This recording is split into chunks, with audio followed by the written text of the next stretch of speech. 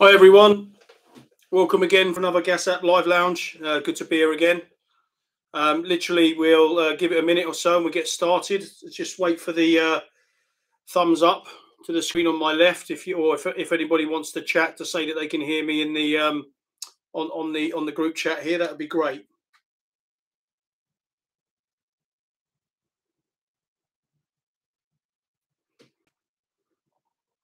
I'm actually hoping I've got this room heated up significantly enough so I don't, um, you know, start losing the feelings in my fingers in the next uh, in the next sort of hour or so. It's quite chilly out here tonight.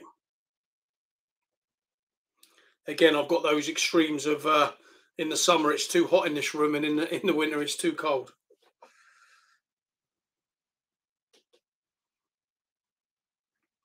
Okay, so we'll make a start. Uh, I hope you can hear me okay, and thanks for coming along tonight. Um, for those of you that haven't attended any of the sessions that run before, my name's Scott Young. I'm a technical training specialist here at Resideo. Uh, I've now been with Resideo, um, well, it'll be three years next March. So, you know, two and three quarter years or so, you could say. And uh, my, one of my main roles is, is to run sort of training sessions. And of course, due to the pandemic and stuff, um, all the training sessions that we've done since March 2020 have pretty much been, well, they've all been online they've all been webinar based things but but one of the really good things to come out of that with regards to uh, from a training perspective has been these live lounges. We've had some really good attendances we've had some really good questions and um, yeah we, we've we've we've hopefully we've spoke about some stuff that's relevant to what we all really want to know about.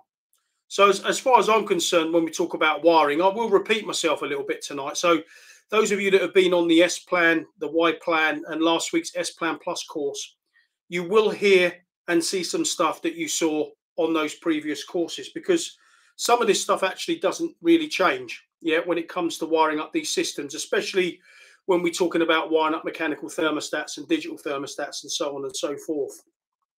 So just bear with it because when it comes to w plan w plan systems in in my opinion are something that's making a little bit of a comeback. Um, so when i was an apprentice over 30 years ago, I really feel my age now. Um, W plans were seen sort of like as, as old hat. They, they were sort of like being phased out because the W plan um, system, it, it gives hot water priority. And lots of people, of course, want heating and hot water on at the same time. And that's where the, the Y plan system was, was the more popular one when it came to the three port valve, or, or the S plan system was more popular than both, most probably. But the W plan system now is making a comeback for many, many different reasons. And, and I'll go through those reasons shortly. Um, but mainly because of the new types of heat sources we're going to be using shortly. Yeah. So hot water priority systems, W plan installations are very, very um, common with renewable heat sources such as heat pumps.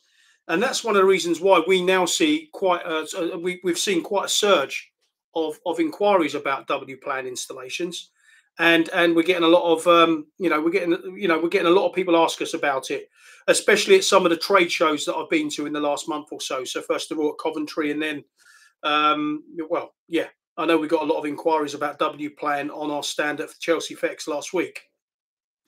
So um, what i want to encourage you to do here tonight guys is enter some questions in the chat uh, not in the chat enter some questions via gas app. Um, we'll get to some q&a at the end of today's session and I'll do my very, very best to answer all of the questions if I can. And um, if I can't give you an answer, I'm sure I can post something in sort of uh, the break time part of Gas App tomorrow morning. Um, there is a competition again tonight. I know last week some of you may have struggled to log in. I'll hold up the, the website address for you to dial into at the end um, because you've got a chance of winning a T4 thermostat tonight for the person that answers the quiz questions the most correct plus the person that answers the questions you know in the quickest manner. So both actually um, uh, count towards the best score. So um, we'll do the q&a right at the end and, and what you'll need to do is you'll sort of need to open up another browser or even leave this um, uh, this session and to open up another browser potentially. Uh, and uh, you've got the chance of, of winning a t4 thermostat which um, again we will announce the winner on Gas App tomorrow uh, by tomorrow afternoon. So yeah, I think we, we didn't get many people coming along last week, but what I'll do this week, based on lessons learnt last week, I'll make sure I hold that web address up for a little bit longer than I did last week. In fact, I'll do it twice. I'll do it now. If you want to log in later on to the quiz with a chance to win uh, a T4 thermostat, this is what you'd need to type into your web browser. So it's pollev.com forward slash Scott Young 490. And when I make my um, quiz live here in my office, it will become live on that particular page that you are dialing in and putting into you as, as a URL. Okay, and if I can ask one really big favor here, is that you put your full name in. If you don't put your full name in when you sort of uh, put this address into your web browser, then we don't know what your surname is, and it's quite difficult for us then to give the prize to potentially the person that's actually won the quiz. So I'll show this again at the end. I think it's important that I do. Uh, and I'll obviously communicate and let people know as and when we do this.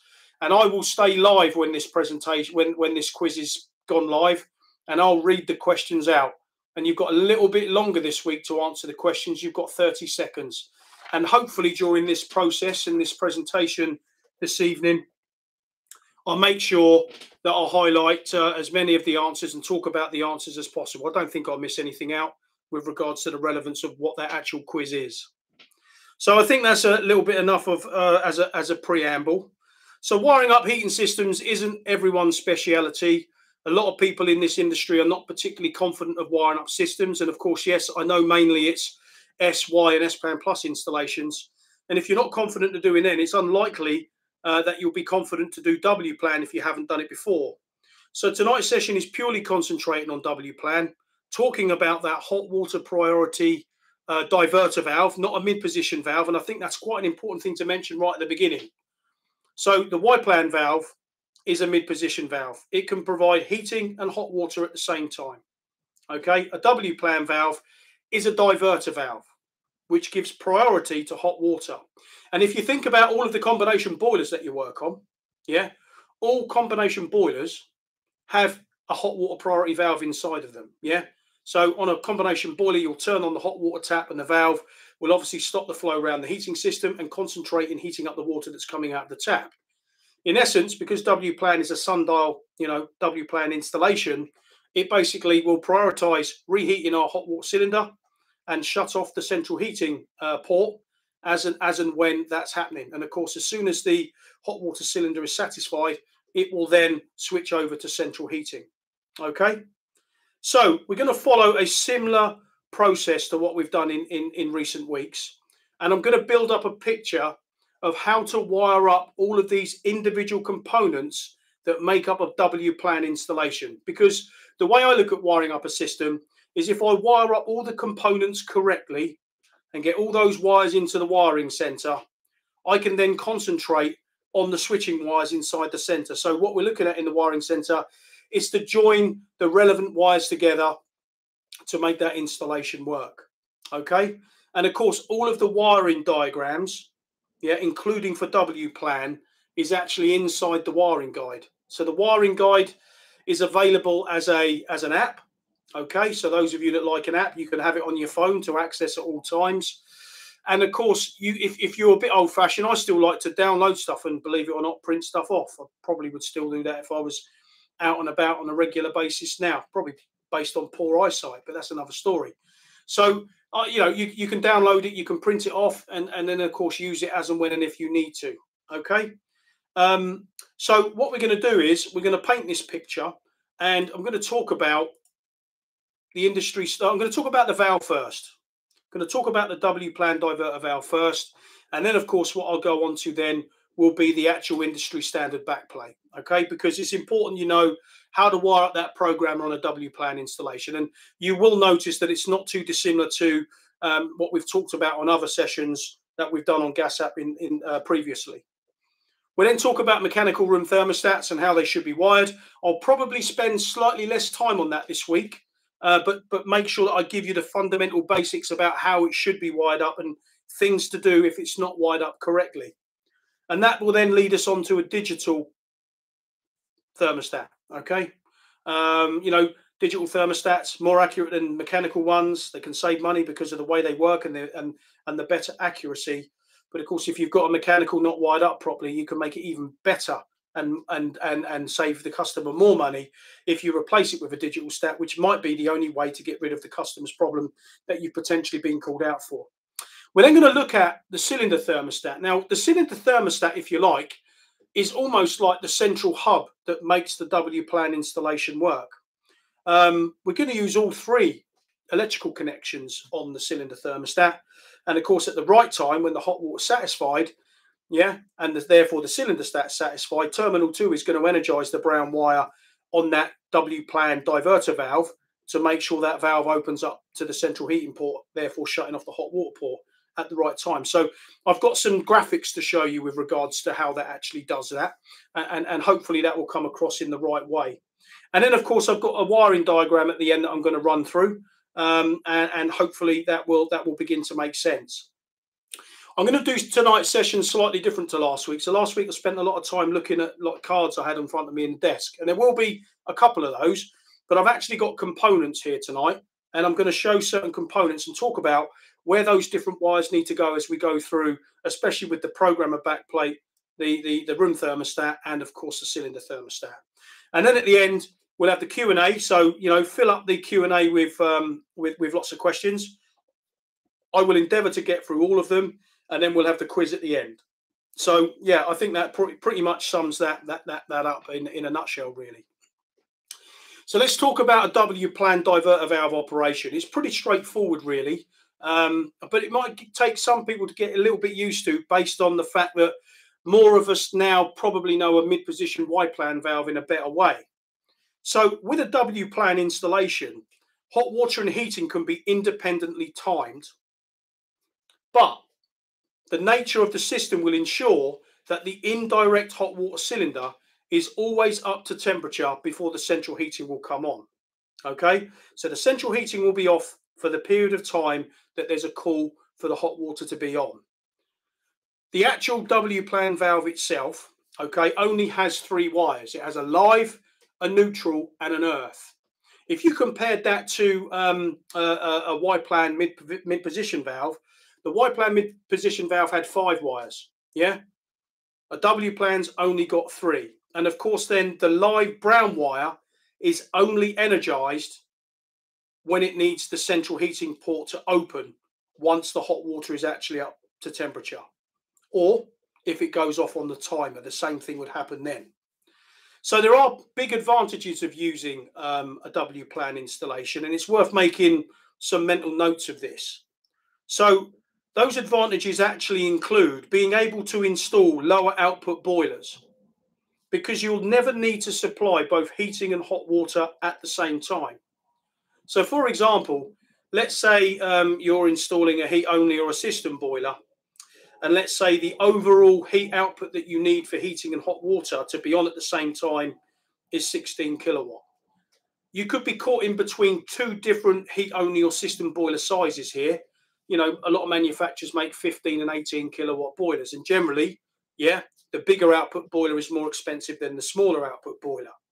So I've, I've seen this a number of times. What people do in this situation is because they need 16 kilowatts overall for heating and hot water to be on at the same time, they can choose that lower output 15 kilowatt boiler because it will never need that full 16 kilowatts with both of them having demand at the same time. So it will concentrate on the hot water first, which will use a, you know, maybe two or three kilowatts worth of heat to get that cylinder up to temperature. And then, of course, when it's satisfied, it will switch over generally then to supply to supply that larger output, uh, but not in excess of what it actually needs because it won't be able to do that. But but anyway, it, it, you, you you can actually size boilers smaller to make it work better with a W plan installation, which might save a little bit of money uh, in conjunction with installing that that that boiler for that customer. Uh, I do see this and have seen this on social housing contracts where um, where obviously if you're fitting thousands of boilers a year, um, then it can be quite a significant saving by having uh, a W plan installation. The second main advantage would be that they are ideal for use for high input, high recovery hot water cylinders. So if you've got an unvented hot water cylinder on a W plan installation with the full concentration of reheating that cylinder as quickly as possible, based on those hot water cylinders, those unvented cylinders ticking all the British standard boxes for recovery times and recovery rates, just makes that happen a bit more quicker or a bit more quickly, I should say. And of course, in the future, these are ideal for heat pump installations. Okay, absolutely fantastic for them. And that's one of the reasons, and as I mentioned earlier on, as well, we've had a bit of a resurgence in, in people being interested in W plan installs. Um, the big disadvantage, and it's no different from installing a combination boiler in someone's house. Hot water priority boilers, hot water priority systems are not suitable for premises that have high demands of hot water. So, for example, I can think of a situation this happened to me uh, when I worked for one of the two boiler manufacturers I did for quite some time. I actually went out to a property once where the complaint actually was the fact that the central heating never seemed to switch on. And what I noticed when I was there is that they were running a catering business from from the basement, which meant that they were using a lot of hot water. And because this was actually with a combi, and because they were using lots and lots of hot water all of the time, you know, it was always in hot water mode, therefore not allowing that central heating to come on, and therefore the house was cold. So it's really important to ask questions when you install before you install a W plan. And if you are installing a W plan, it's always a good idea to make sure that the customers themselves fully understand exactly what that's going to do. And, and that, that's a really important thing in, in, in my humble opinion. So what I'm going to do at this point, I'm now going to start talking about the components in a, in, in a W plan installation. I'm going to start talking about um, the industry standard backplate first of all.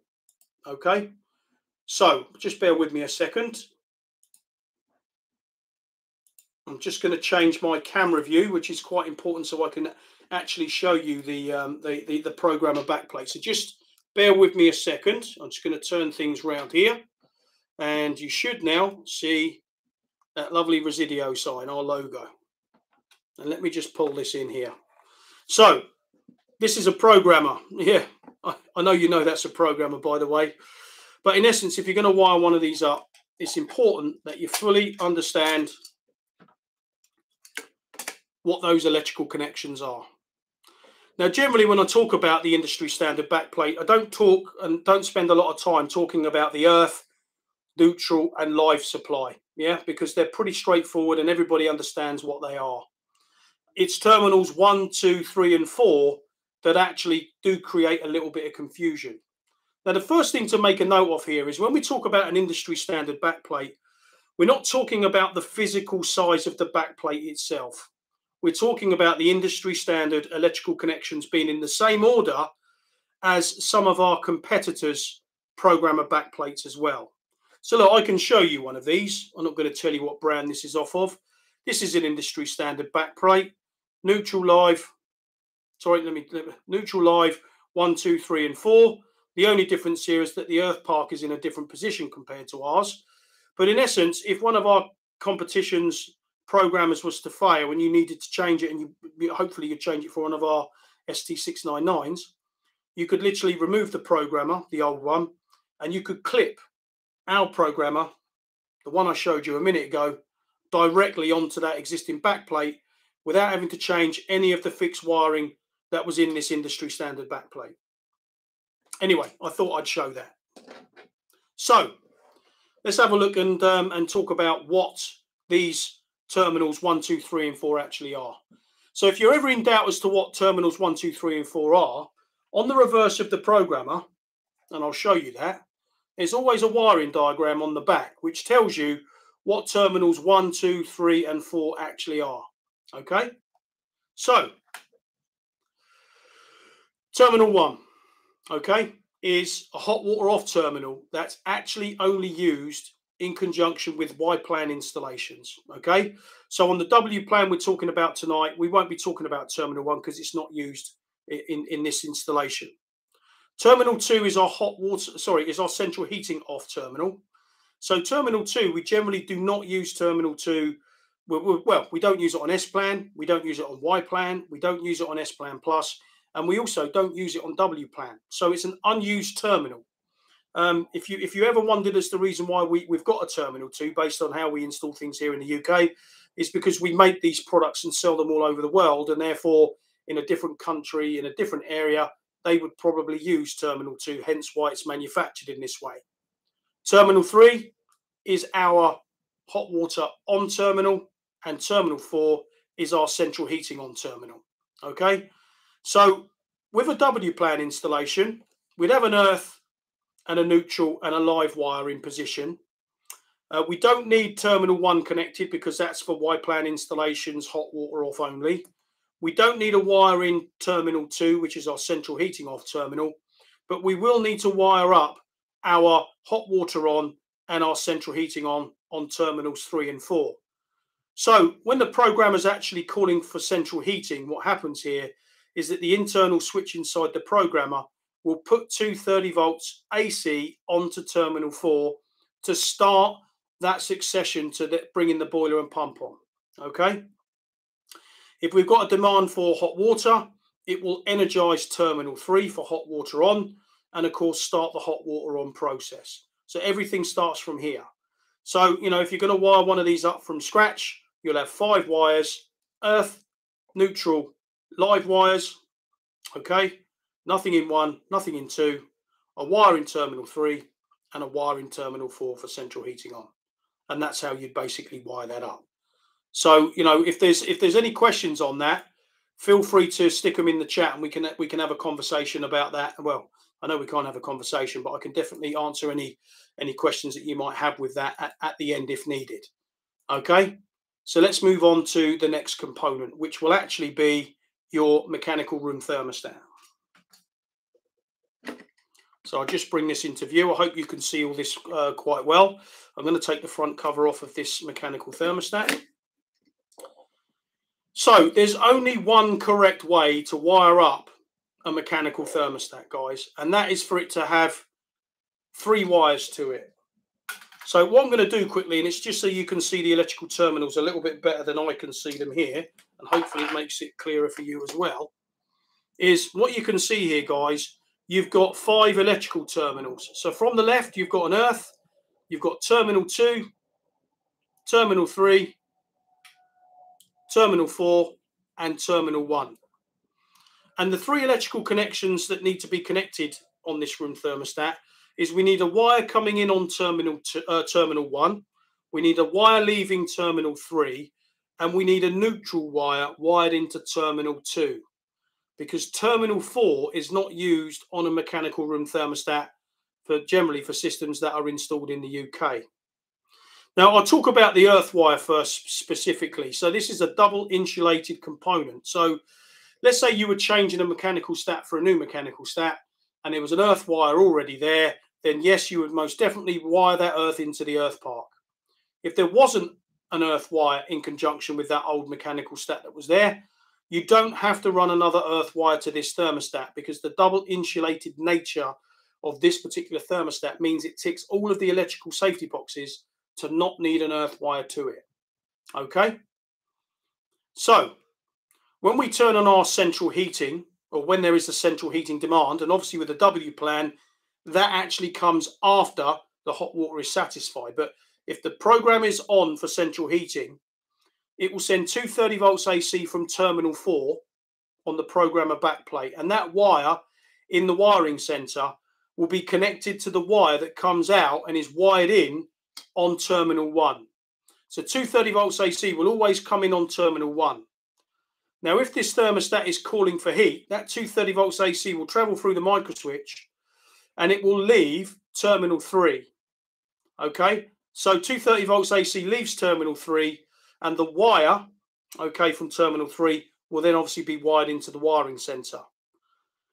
But very importantly, because of the nature of the way that a mechanical thermostat works, you need a neutral wire into terminal two. And the reason why you need a neutral wire into terminal two is based on the anticipator that's actually installed as part of this thermostat. Okay, so an anticipator needs to be connected to neutral so it has electricity flowing through it when there's a demand, which enables that anticipator to resist the flow of electricity through it, which means it will give off some heat to make the bellows more reactionary to air temperature change. Okay, because mechanical stats are not installed in their perfect location. So yeah, we know where mechanical stats are fitted, and all thermostats generally they're fitted on the wall. Yeah, but the perfect location for a mechanical stat like this is to be dangling from three core flex in the middle of a room. And of course, because we're never going to do that, and it's a fitted um, adjacent to where it's fitted, where it's ideally fitted on the wall, there's a certain amount of lag involved between middle of the room and where it's fitted on the wall. So to reduce that lag, to make this work more accurately, being wired up to a neutral wire on terminal two will obviously make the bellows more reactionary to air temperature change. You know, that mechanical operation that a mechanical thermostat has to make it fall in line and be more accurate in situations um, when, when it's wired in that way. Okay. So, one thing I will say, you sometimes will find mechanical thermostats only wired up with two wires. So, you'll have a wire coming in on terminal one, you'll have a wire coming out of terminal three, and nothing in terminal two, no neutral wire. The complaint for customers there generally or would be that it doesn't seem to sense temperature in the way that they'd expect it, expect it to. The accuracy is off. And the reason for that is because, you know, the anticipator is not connected to neutral and then it can't really get, get over the lag issue that mechanical thermostats suffer from. Uh, and, and I know I've made this mistake, and some of you would have heard me say this previously. I have definitely swapped a two wired older mechanical thermostat for a new mechanical thermostat and fitted the same two wires in the same two positions, only to be called out there in the future for the same problem down the road. The only repair for an incorrectly two wide mechanical thermostat is to replace it with a digital thermostat. And I'm going to show you one of those now. So please remember this in on one, out on three. Don't forget the neutral two. Okay, that's a really good thing to remember when you're wiring up a mechanical stat. So, this is a T4. For those of you that haven't seen it, I'll just tilt that so you don't get too much glare off the camera that's above it. This T4 actually, or, or a T, T4 series thermostat is a prize for that, that person that answers the most questions quickly and correctly later on. So this is a wired digital thermostat. This is a wired programmable digital thermostat. And behind this, screwed to the wall, will be the back plate. Okay. And if I just drop this flat down, it exposes the wire connections. So for those of you that have been on previous sessions with me, okay, you will know that this only needs two electrical connections, as I mentioned a minute ago. It does not need a neutral wire whatsoever. So if you have a, if you had a perfectly properly wired mechanical stat in on one, out on three, and a neutral wire wired in on two, the neutral wire would just need to be isolated because there's nowhere physically for you to connect that here on these electrical connections. So the wire that was in on terminal one of the mechanical stat, and it's always a good idea to take photographs of, you know, existing wiring before you then uh, put something new in. The wire that was wired in on terminal one should be wired in on terminal A on, on, on, on a digital thermostat. And the wire that was in terminal three, yeah, remember in on one, out on three, so this is in on A, out on B. So the wire that was in terminal three should be wired into terminal B. Okay. And then, of course, once that's wired in, um, you can simply then shut that back plate and then that T4 thermostat literally just clips onto the front um, and is secured on the wall. So you've got the chance to win one of these little fellas later on if you can answer those questions as accurately and as quickly as you can.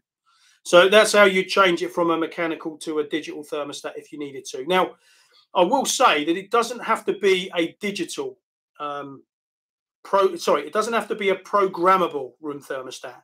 We actually do hardwired standard digital thermostats like the DT90, and the DT90 will have terminal A and terminal B, and that's it. No neutral wire. But instead of you being able to program all the times and settings and holiday functions which a T4 would give you, that that digital standard thermostat, instead of having the dial on, it would literally just have a plus and a minus button and an economy button, uh, and that's all it has. So there's no programming functionality on a DT90. You would do the time control um, on that W plan system with a DT90 from the programmer, and therefore then that that then just that this just keeps that um, that DT90 as as the digital thermostat. Okay, so I hope that's um, that's quite clear, um, and I hope you can see the numbers on these on these thermostats and on these components as I go through them. Because now what we're going to do is I'm going to talk about the um, the cylinder thermostat, which is the central piece of W plan installations. Just bear with me a second. I'm having a little bit of a technical issue here. So, cylinder thermostat, okay? So for those of you that have been on other sessions, on S plan, we wire in on one and we come out of the common, okay? On Y plans, we wire in on the common.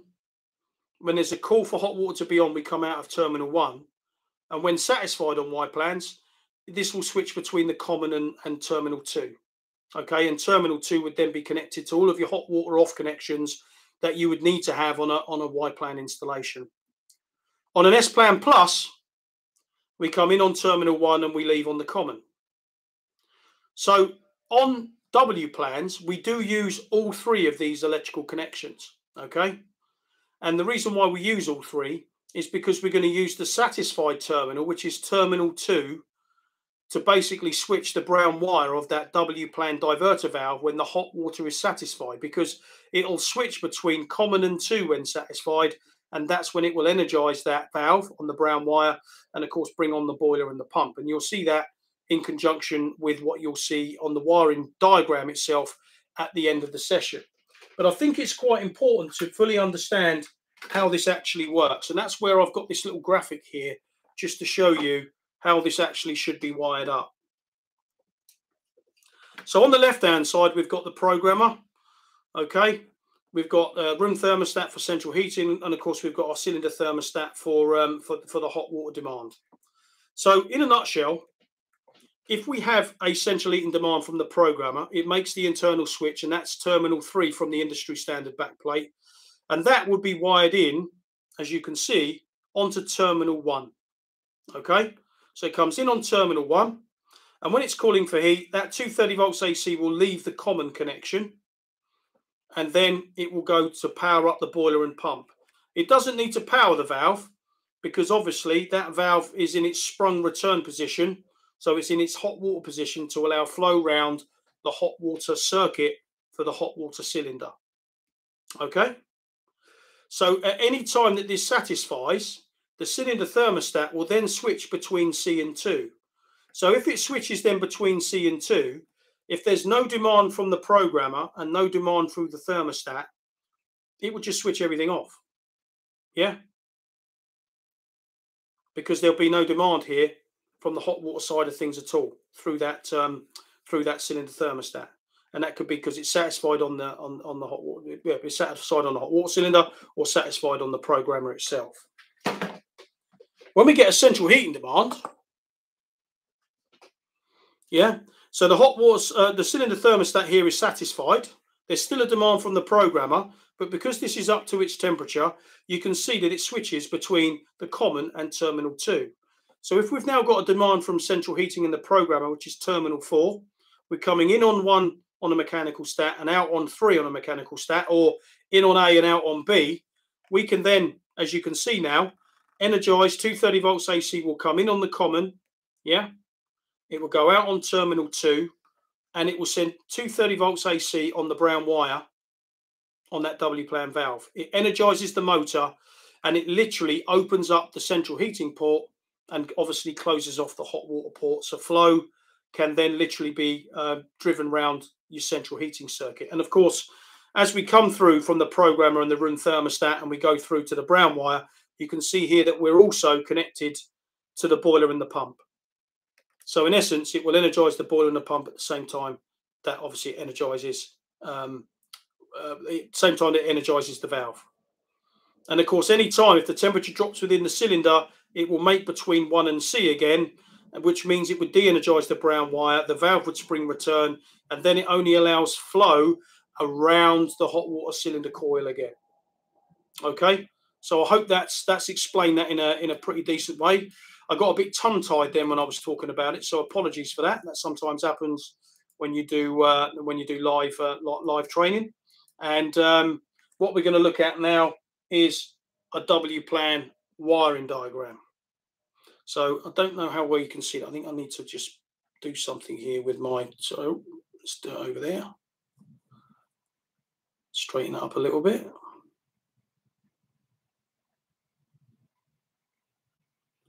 There we go.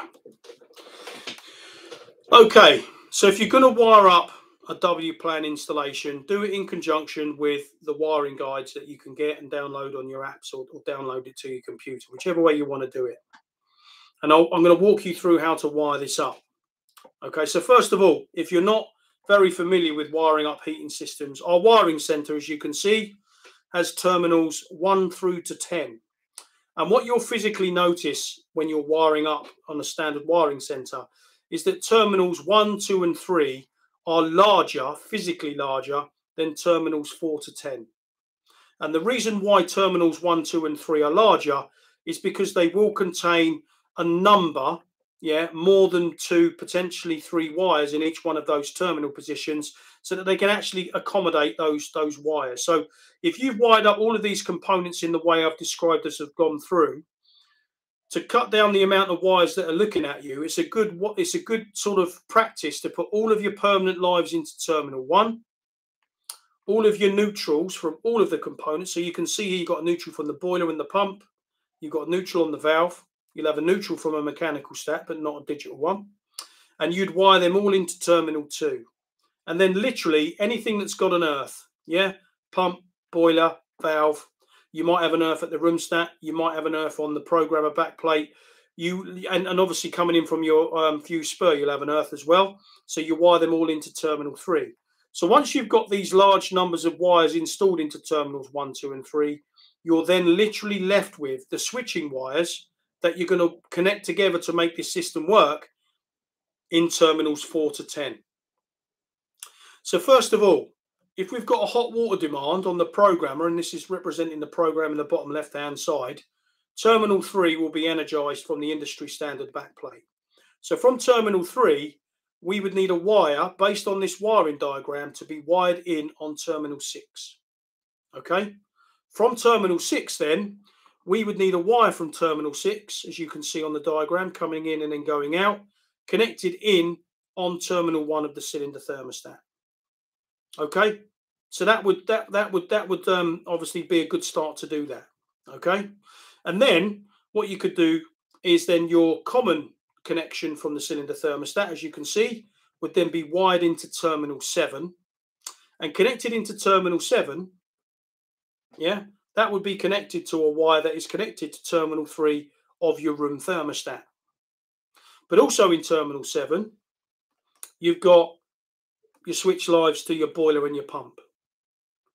So, okay, if you've got a three-wired boiler that, that that that, literally just just a switch live doesn't need any pump over on any overrun facilities like some older boilers that you might still see out there, you you quite literally, guys, your earth and your neutrals will, will be connected to two and three from your boiler and the pump. And then, of course, the switch live uh, to your boiler and pump will be connected into terminal 7. Okay. If it's a permanently live boiler that you've got, then you'll, you'll have four wires going out to the boiler. You'd wire permanent lives into live neutral and earth into terminals 1, 2, and 3. And then the switch live from the boiler would be wired into terminal 7. So we now need to facilitate the hot water, sorry, the central heating circuit. So terminal four in the programmer, as you can see, the wire from terminal four is connected um, into terminal four in the wiring center itself. And from terminal four in the wiring center, there's a wire leaving there that's connected in on terminal one of your room thermostat. Okay.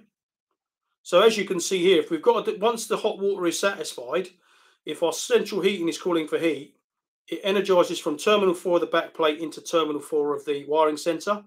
It goes into the room thermostat on terminal one. Okay. If the room stat's calling for heat, that 230 volts AC goes through the micro switch inside the room stat from one out of three.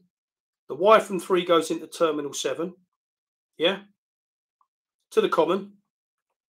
And then terminal two from the cylinder stat, as you can see here, would then be wired into terminal five, which is the bit I hadn't mentioned yet. Okay. And in terminal 5, it's then also connected to the brown wire that's going to energize the motor in this W plan diverter valve. And of course, because we've got voltage on terminal 7, it's going to energize the boiler and the pump. So of course, anytime the cylinder thermostat satisfies, it switches between the one and the common. And of course, you'll see then it would break the supply of power going to the brown wire, which de-energizes it and then switches it off. And then, of course, the boiler stays on so we can circulate heat for it to actually then run around the central heating system. So that in essence is how you'd wire up that W plan valve. I'm just going to change the angle of the camera slightly. Um, so let me just do this. Remember how it's done. Sit that back there. Um, there we go. So you know that's actually taken a little bit of uh, a, a, little less time than what uh, S and Y, uh, S and Y plan and S plan plus has taken to explain. Um, but in essence, you know, if you're if you're wiring up one of these from scratch and you've got a wiring guide and you've wired up all those components right, then you should be confident enough. Hopefully, you'll be confident enough to wire one of these systems up. Just a couple of things I haven't mentioned with regards to the W plan valve itself. You can just change the motor if you ever needed to. You can change the head. And just for clarity, and I'm sure you know this anyway, you couldn't put a Y plan head on a W plan valve because the two actuators are completely different. Remember, you've got five wires on the uh, on, on the mid position Y plan valve, and you've only got three alive and neutral and earth on a W plan valve. And, and, and of course, the same rules go if you're changing an actuator on a W plan valve. You know, you're looking for three signs that you don't have to drain that system down to change it. Uh, quite literally, if you look for the little bump on the silver cover on the top, if it's got the little bump on it, you don't have to drain the system down. The second important point to see, if, if you're not sure about that, is there should be a physical air gap that you can see through between the top of the actual brass valve body, the flat part, and the underside of the actuator. If you can see through it, you don't have to drain it down. If you've missed the first two, then um, if you undo more than two screws, you're going to get wet. So uh, hopefully you'll never go that far down the road to um, to do that. But I'm sure that's just reaffirming things that I've mentioned previously. Okay, so I hope that's been useful. And I think what I'll do now is I'm just going to liven up my other screen because um, I want to go through and and look at uh, any questions that may have been submitted by you guys while I was running through that um, through that little session then I was just doing. And I hope that came across okay with the components. I thought it would be more interesting to see the actual products tonight, other than just looking at you know uh, different things with regards to what we looked at last week. So let me just have a quick look on. Um, uh, look for any questions. I'll just get my iPad in front of me, just refresh it so I can see. Um, oh, good. We got some questions here. That's great. So um, the first question here is from uh, Andre Babina. How many zones are in W plan? So, Andre, um, I, th I, think you probably know the answer now. Anyway, you've got um, you've got a hot water priority valve. So, in essence, you've got that uh, hot water zone, which is given priority over that um, over that central heating zone. So, yeah, you've got one zone of heating and one zone of hot water. Okay. Got a good question from Nigel Baker, uh, and Nigel's asked. Oh, one second. What's the easiest way to fault find on zone valve and three port valves? Okay, so look, I'm going to give a general point here, um, and I think it's it's it's it's a good point to make, and it's it's something that a lot of you guys out there probably don't know even exists. And I'll, give you the answer, Nigel. I'll, I'll get to that point. On the Resideo installer toolbox, if you went onto the support section, there's something in there called knowledge base. And if you went into knowledge base and literally typed in a question about anything to do with Honeywell Home uh, products, Resideo products, you can probably get the answers that you want from that website because there'll be there's lots of knowledge articles in there based on many many questions that have been asked, like what Nigel's asked with regards to fault finding on on uh, two port and three port valves. So Nigel, so Nigel, so I suppose the short answer here, and I'll, I'll, try and go through this as quickly as possible. So let's look at the W plan valve first, yeah, which has only got three wires to it, alive and neutral and earth. The thing to remember here is that if you're doing live testing, I wouldn't recommend doing any live testing unless you're really confident and competent to use a multimeter. I think that's a really important thing to uh, to get across because you need to do this safely and there's no way that you should ever do live electrical testing with neon screwdrivers or, or, or information of that type. Oh, or information of that type, products of that type. So you want to use a decent multimeter and know how to use it first of all. So in essence, that brown wire on the W plan valve will only have 230 volts AC on it if the hot water is satisfied or if there's no demand for hot water and there's a central heating demand. So what you'd look for in the wiring center, Nigel, with a W plan valve would be to put a central heating demand on that system with the hot water turned off. And if you can identify the brown wire to that W plan valve, that means that that brown wire should get 230 volts AC on that brown wire when there's a demand for central heating only. Okay. So a two port zone valve. Okay. So on a two port zone valve, you've got an earth, a neutral, and a brown wire, which is the live in from the thermostat for the zone that it's controlling, the, the zone that's controlling the flow round. Okay, you've then got an orange and a grey wire. So first of all, the grey wire is a permanent live supply. So if there's no demand on that zone valve at all, there should always be 230 volts AC on the grey wire um, for that two-port zone valve. When there is a demand on the two-port zone valve, what happens is you'll get a call from the programmer through the thermostat, cylinder stat, or or um, or room thermostat, and then once you get a call from both the programmer and the thermostat for the valve it's controlling, you end up with 230 volts AC coming in on the brown wire to energize the motor. And then after 15 seconds or so, once it's the motor is energized, you'll have 230 volts on the grey, you'll have 230 volts on the brown if there's a call for heat. And when it makes the internal micro switch, you'll also have 230 volts AC leaving that zone valve on the orange wire. So you can check the live voltages there in that way if you wanted to. Okay, so on um uh, on a on a Y plan valve is a little bit more complicated. Okay, so when you've got a hot water only demand on a mid position um, on a mid position Y plan valve, you should have 230 volts AC only on the orange wire because you've got an orange, a white, a grey, a neutral, and an earth. Okay, so hot water only, you'll have 230 volts AC on the on the orange.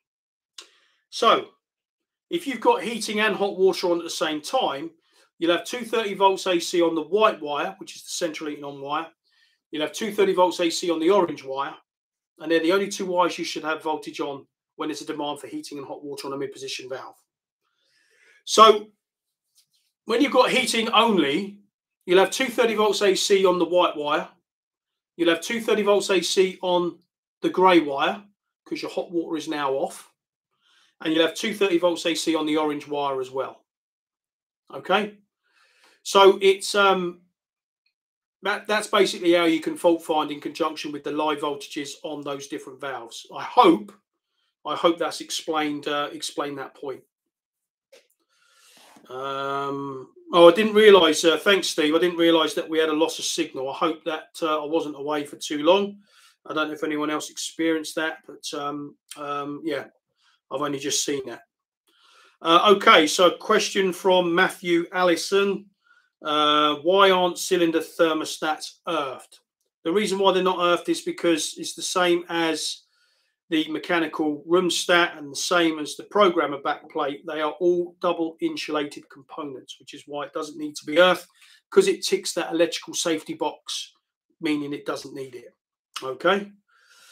So uh, Mick Reedy Mick Reddy. Sorry if I've mispronounced that, uh, Mick.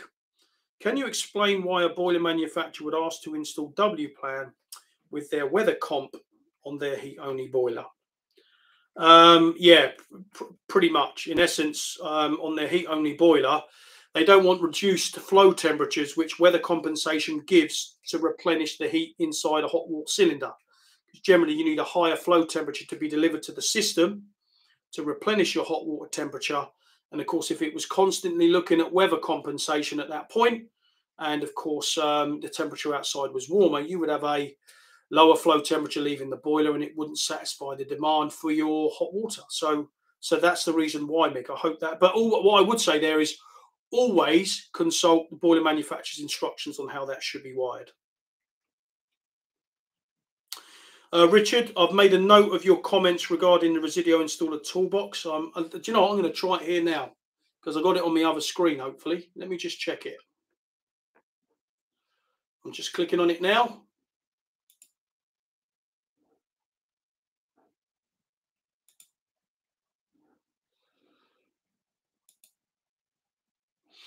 Okay, well, um, yeah, um, Richard, you're, you're right. It doesn't seem to be responding right now. I will make sure I report that fault. But trust me, that's the first time I've ever been on it and it wasn't responding. I would say that, wouldn't I? But no, it's true. I'll uh, I'll, I'll, make someone aware of that uh, as soon as I can. But it is a really good source of information for uh, for questions that you want to type into the knowledge base. Okay. So um, yeah, there we go. So thanks for the questions, guys. Really do appreciate that. Uh, Samuel Dunseith has asked, "Do we do a wireless cylinder thermostat?" Um, yeah, we do. Um, um, we do wireless cylinder thermostats in conjunction with RF squared packs and such the like. So uh, have a look at have a look at those, and uh, hopefully that would suit your purpose for what you need. Um, uh, Craig McGregor, thank you for your kind comments, much appreciated. I, um, I I always hope that it does reach people on a way that that that and it's explained in a way that it gets across in the right way. Uh, well, what I would say, and I always close wiring sessions with these with this particular statement. When it comes to wiring, practice makes perfect. And if you don't do it often enough, I believe not doing it often enough is the reason why plumbing, heating, and gas engineers aren't always confident of wiring up heating systems from scratch. There are people that that, that can remember stuff and, and always, you know, always remember it. They might have a break of three or four years from doing something, but they still remember to do it.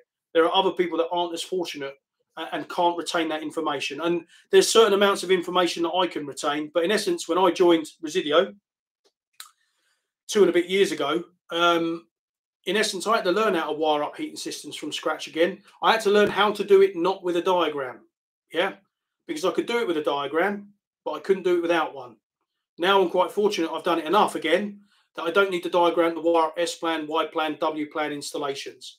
But the one I've probably got to think about a little bit more, funnily enough, is the wiring is the is the W plan wiring um, uh, wiring diagram um, because again that's something that I've only really spent and concentrated on a little bit more in the last year based on the extra demand for the information for it. So go away and practice this stuff. You can make your own wiring boards out and, and up with the components you've probably got in the back of your van if you work for yourself, or you can get from you know your employer if they allow you to use it to practice this. Then you might even have training boards in your you know in, in in in a room at work in a break room or something like that if you're ever in that situation. So practice really makes perfect, and give it a try um, and do it as often as you can and then in the future, if you're not doing it already, you can offer that service to customers to wire up those systems yourself instead of maybe getting someone else in to wire it for you. So you're losing a little bit of your profit by, you know, giving money to someone else to come and do it for you. We'd now get a lot of electricians, and there's probably a few electricians on tonight's session who who obviously are wiring up uh, heating systems, and and we get large numbers of electricians coming on our wiring courses based on that fact. Um, so, um, do we have courses? And that's from uh, Penov. Uh, yes, we do have courses. At the moment, we're on a bit of a wind down towards Christmas. The numbers on training courses uh, tend to wane a little bit um, uh, between now and the new year. Um, there are a few online webinars between now and about the 8th of December that you can book free of charge. Uh, I believe we've got an S and a Y plan uh, wiring sessions coming up in the next two weeks. If you go on the Resideo Installer Toolbox, hopefully you'll click on it and be able to book it. Um, then, then you can book it free of charge and you can come along and, and learn about that. So our online webinars will start again um, towards the end of January.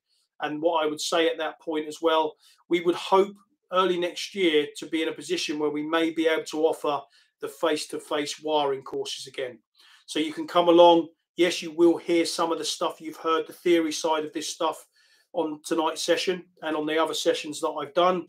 But then you're able to get your hands on our new wiring boards and wire S plan and Y plan, etc., up from scratch to get that practical experience that, that you might be looking for. Okay, so now then let's um, let's have a look at uh, this quiz now. So what I'm going to do now, guys, is I'm just going to click on my other screen and I'm going to um, turn that on. But let me just do something else here. So if you want to enter the competition, you need to type this website address into a browser. So I'll keep it here for a couple of minutes. And as you can see, it's pollev.com forward slash Scott Young, and that's Scott with two T's. Young as, yeah, I'm still very young, I wish. 490. So if you type that into a web browser, uh, and then once you type that in and uh, obviously press enter, it will ask you to input your name. So please put your first and your surnames in, guys, because if we have six Garys on the call and six Garys come first to six, we wouldn't know who to tell actually won it. So please put your full name in there. And what I'm going to do shortly, um, I'm actually going to um, start the quiz. I'm actually going to make it live now. So when you first join it, nothing might not happen until I say now here.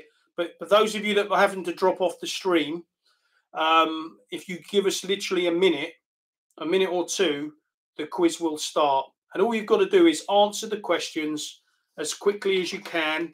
And the person who answers the questions quickest and gets the most answers correct will win the T4 thermostat. So um, I'm just going to get my screen up here again now. I just need to do something over here. I need to put it into um, presentation mode for people to be able to see it. So one last time, pollev.com. In fact, you know what I'm going to do? Because I've only just seen that it's actually on there. I'm going to type it in here. Yeah, so everyone can see it.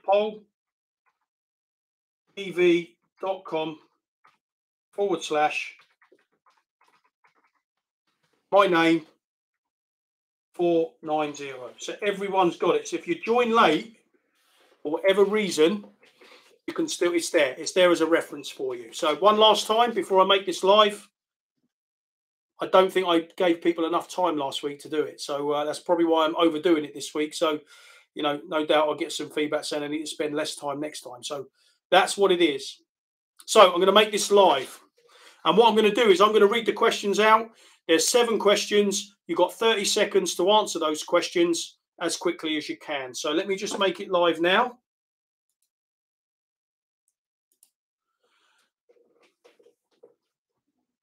Okay, so the first question is how many wires does a W-plan diverter valve have? So I'm going to press go. You've got 30 seconds from now to answer it. So all you need to do is touch the answer on your on your screen. So how many wires does the W plan diverter valve has have even? It's three, four, five, or six wires. Try and think of the difference that I mentioned a few times between Y and W plan valves. Five seconds left.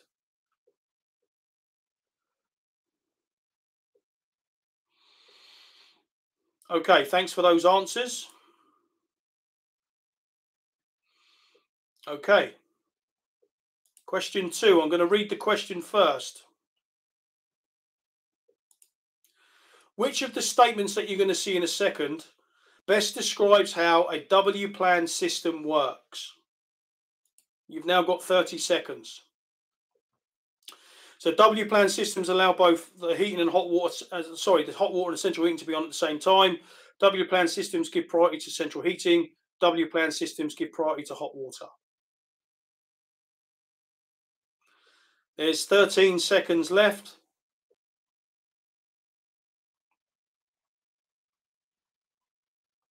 Five.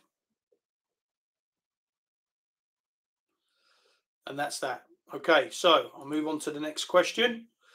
Tells me how many people have answered. So thank you for those of you that have put some answers in. Okay, it's neck and neck between a couple of you at the moment. So, what advantages does a W plan system have? 30 seconds from now. Ideal for use with high input, high recovery hot water cylinders. Lower output boilers can be installed as it will never need to supply both heat and hot water at the same time.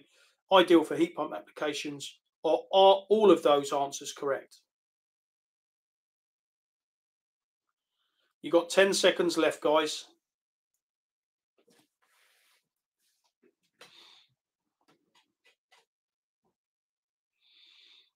Okay. Thank you for those that answered. Next question. It's still neck and neck. What colour wire on a W-plan valve is energised when there is a central heating only demand? 30 seconds. Grey, blue, orange, brown. This is now when I'm thinking, did I make sure that I got across all of the answers so you can all adequately answer these questions? Have I forgotten something? I'll know shortly. Um, so far, I haven't forgotten one which is good. Five seconds to go.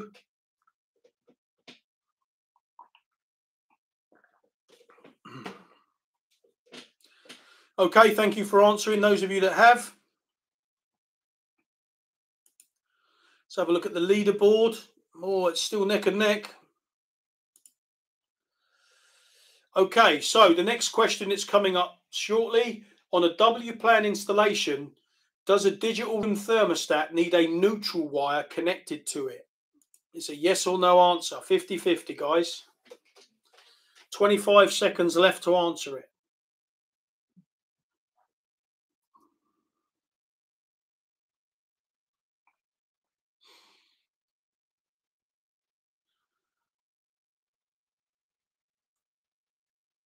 Ten seconds.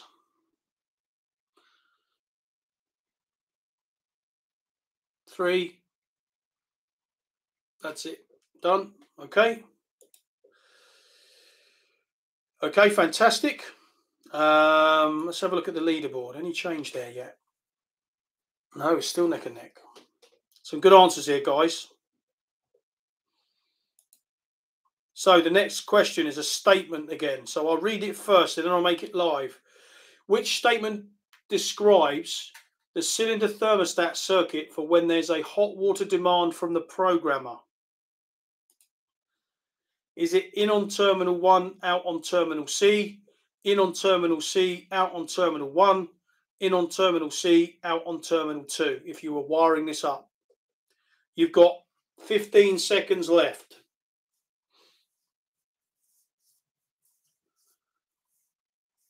Ten seconds.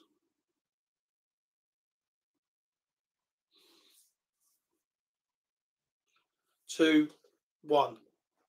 Great stuff, guys. Thank you very much. All mixed answers there, but I think I knew that one would get you thinking. Okay, great. So, yeah, it's still very tight. Um, there's a number of you still in this, by the way. So I suppose for some of you, this might be the tie-breaking question. So this question is going to go live in a second. Which statement best describes the cylinder thermostat circuit for when the hot water is satisfied and if there is a call for central heating? It's a bit wordy, but so apologies for that. It's live now. Is it in on terminal C, out on terminal 1, in on terminal C, out on terminal 2, in on terminal 2, out on terminal 1? Got 20 seconds left. So you've got plenty of time to read the answers to these questions, guys think about what we went through with those two diagrams a little bit earlier on. There's five seconds left. I know there's probably another answer due. Three, two, one. Okay, great stuff.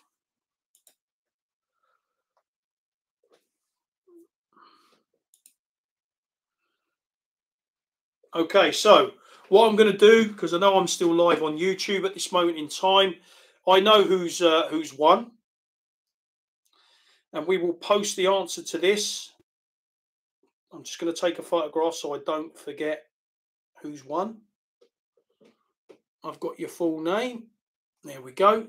I'm going to stop sharing. Um, I'm going to stop the quiz now. Thank you very much for those of you that have um, that have dialed in for that. Apologies for those of you that that, that maybe struggled to get on it. Um, I'll be interested in any feedback about how you thought the PollEv thing actually worked there, but we thought it would be a different way uh, to pick a winner uh, on these last two sessions, something a little bit different. We're, we're trying to make things more interactive when we do live webinars and so on and so forth. So anyway, so thank you very much for coming along tonight, guys. Really appreciate the time that you all take to uh, sit through one of these sessions. I hope you found it useful. Remember, there's lots of good information on Resideo.com, product information, wiring guides, um, wiring diagrams.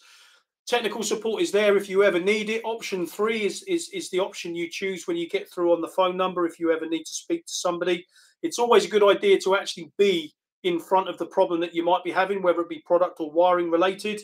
If you have any product issues at all with any of our products, it's always a good idea to make sure you're in contact with your local area sales manager. And um, you know we're always interested in quality control. And if you if you ever have any, any any issues with any components or products, return those components and products so we can look into as to why if it has failed prematurely why it has. But you know it doesn't happen very often but we are all about customer service and we, we want to know if you're having any problems. So being in contact with your area sales manager is, is, is one of the best things that, that, that you can do from that end. So thanks very much for your time, guys. Look forward to maybe seeing some of you again. Not that I can see any of you, of course, but it'd be, it'd be uh, yeah, we've got another session, I believe, on the 7th of December, where we're going to be talking about um, TRVs and system balancing. So if you want to download the TRV and balancing app, Honeywell Home app, um, then preload up that to your phone before the 7th of December.